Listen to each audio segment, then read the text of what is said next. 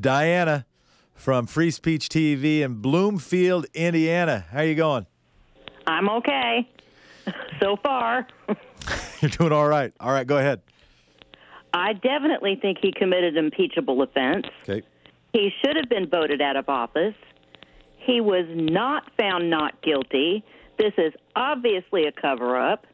And I'm thinking of moving to Canada. If he gets reelected, I'm going to right, see what I can do to move on. to Canada. Okay, all right, all right, Diana. I want I I I appreciate the call. I got to respond to the Canada thing because I've now had multiple discussions about this Canada thing. Although the last time it wasn't a Canada thing, it was a Costa Rica thing, and it was a guy who uh, just I have huge respect for.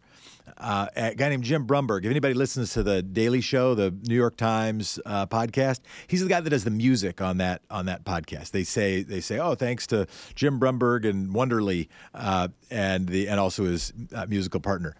And he owns a couple music venues in my town, and, and he's a friend. And we were just hanging out there tonight. And he uh, and he was saying, Jeff, this is more than I can handle. I, if we're going to do another four years of this, I got to move to Costa Rica. And I'm like, no. And, and I know that my response is somewhat typical, and you're going to hear it. But I, I'm going to make I'm going to go further than what you've heard a little bit. It's it's the no, we need you. If you're going to move, move to a purple state. We need you because the country needs you. If good people abdicate, somebody's not going to abdicate.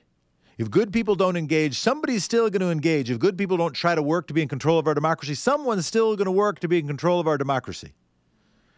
And if all the good, if it's not the good people, who does that leave? We need you, Diana. We need you, Jim Brunberg. We can't just leave. You can take vacations. You can like turn off Facebook. You can tune in every single day to the Thom Hartmann program as a break, just as a break. But don't leave. But I'm going to go further than that. It's not just the country needs you, it's not just democracy needs you, it's the world needs you. Because this country, uh, another dear friend of mine, he does. His name's Tim Marcroft. He's uh, training to be an economist. He's living in France. His wife is growing a hop farm. Uh, he does. He's an old X-ray guy. Wonderful guy. And and we have this discussion. And he's like, "Well, why does why does the United States matter? Maybe it doesn't matter.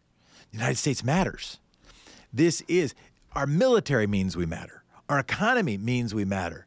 The United States being in control, being controlled by, being influenced by people who care about democracy, people who care about humanity, people who care about the environment, people who care about humanity, that isn't just a matter for Oklahoma or Oregon or Ohio.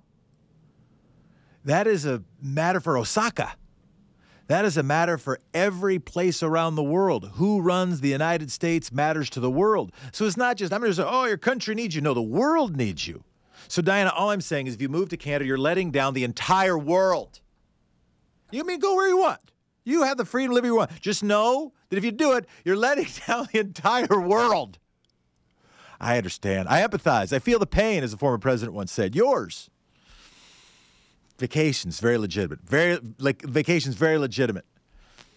But as Paul Wellstone said, don't complain, organize.